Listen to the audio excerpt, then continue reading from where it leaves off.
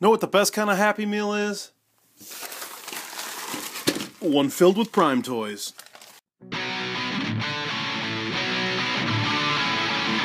So what's up YouTube? This is Mitch Santona here with a Transformers Prime toy review. These are McDonald's Happy Meal toys. They come packaged in little baggies like this, and they come numbered as well. So they got a little, looks like a little instruction manual with them.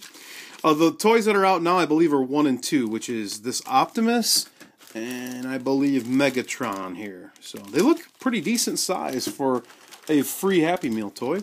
But just in case you're wondering, in another couple weeks or so, or whenever they decide to release it, uh, the next one that'll be out is Bumblebee, followed by Starscream. Uh, number five is Bulkhead. Six is Breakdown. Seven is Ratchet, and eight is Knockout. So if you're waiting for that Knockout toy, they left it last for a reason. And so here we have Optimus Prime, and he's looking quite nice. Good representation of the Transformers Prime version of this character. Now on all of these, I'm not going to show it off, but the wheels do spin. Uh, he, they will roll. Uh, they all roll pretty nicely. Just in case you're wondering, it's not it's not molded in. They're actually working wheels. And Optimus's gimmick is that of, well, first of all, he's got an on-off switch here, so you can turn it off if you choose to do so. Uh, but you pull down on his little tail pipes here, or his stack pipes, and you click it into place, and he's got a little red LED that lights up the Autobot symbol. So that is quite awesome. And for a little size comparison, this is the Cyberverse Commander Series Optimus Prime. You can see that the McDonald's toy shows it up Yep, the McDonald's toy is bigger than the Commander series, Cyberverse series, store-bought toy. Here's the second figure of the set. This is Megatron in his Cybertronian alt mode spaceship thingy. And he does look pretty nice. With, like the Optimus, he does have an on-off switch, which is kind of cool. And that on-off switch is for his first gimmick. Now, Megatron's got two gimmicks, which is really cool because I think he's the only one that really does. Uh, he's got a nice bright green LED. If you push down on the uh, cannon here, you get that. And then, for a little added bonus, this purple bit here is a missile. So you can push down on his head and fire that quite forcefully. Yes, very nice.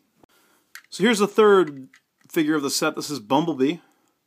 And he looks like a nice representation of a little muscle car Transformer Prime Bumblebee. Kind of like a Camaro, but not quite like a Camaro, but kind of. Comes with a nice pretty blue missile, and that is fired by pushing down on his trunk. That exposes a missile launcher. You then insert the missile, and you can shoot at Starscream with the red Autobot button. Again, pretty decent spring force on these things. Hmm, nice. Okay, so the fourth toy available is going to be Starscream. And of all of them, I think this may be my least favorite. He does look cool as a jet. He really does. He's got some little missiles there molded in and everything, and that's all nice and well and good. But really, his only gimmick, which is kind of disappointing, is you push down on this uh, purple Decepticon symbol, and it exposes some missile pods. And that's it. Oh well. Looks cool like this anyway. So here is Bulkhead, and he, I think, is my favorite of the group. Uh, he just, he's a good representation of Bulkhead from the show.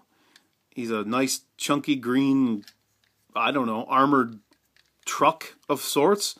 And he looks nice. He's got a nice red Autobot symbol here. There's a clear bit here. That clear bit is actually the trigger mechanism for these. Now, it came packed with another little baggie, which had some, these are like wafer, they're like cardboard uh, wafers that are that have Autobot symbols on them, and then the Transformers Prime on the back of it. There comes with three. These slide into this groove here, and why this one is my favorite is because you launch these using the hood of his car, and they really go far. Really cool. I like it.